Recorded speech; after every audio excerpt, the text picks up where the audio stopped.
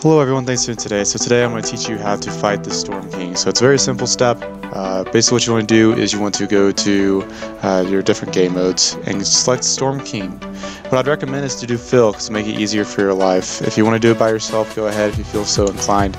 Basically what you're going to do is just want to search it and it will put you into this game mode where you'll fight the Storm King. And that's basically all you have to do to get to be able to fight and beat the Storm King. It's pretty simple guys.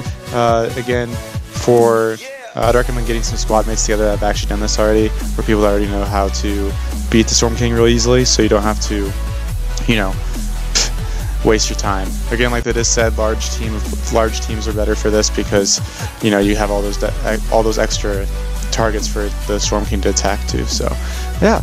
Uh, if you guys enjoyed today's quick tutorial, feel free to like, subscribe. Thank you.